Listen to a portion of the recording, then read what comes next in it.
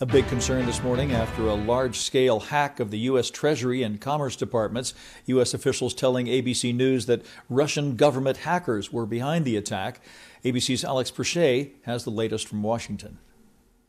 It's being called a highly sophisticated and targeted attack that could have broad implications for the country's national security.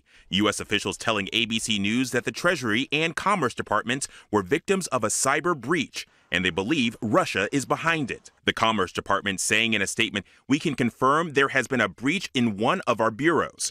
We have asked the CISA and the FBI to investigate. Authorities believe that Russian government hackers breached computer software used by those departments, made by a company called SolarWinds, and were able to secretly look at communications of U.S. government officials for months. This potentially is really a big deal. But the damage could be even more widespread than that. SolarWinds software is used across the federal government, including in the Pentagon and the White House, and is used by most of the Fortune 500 companies.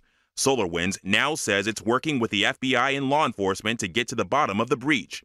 Its president issuing a statement saying the vulnerability is currently believed to be related to updates which were released between March and June of 2020. The Kremlin has denied Russia is behind the hacking, a spokesperson saying flatly, We have nothing to do with this.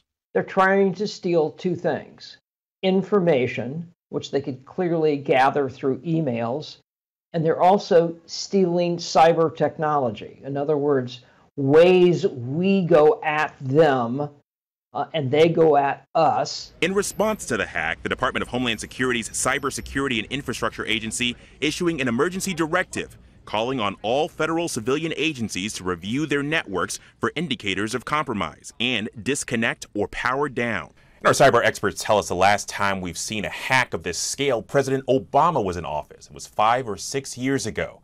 Alex Perez, ABC News, Washington.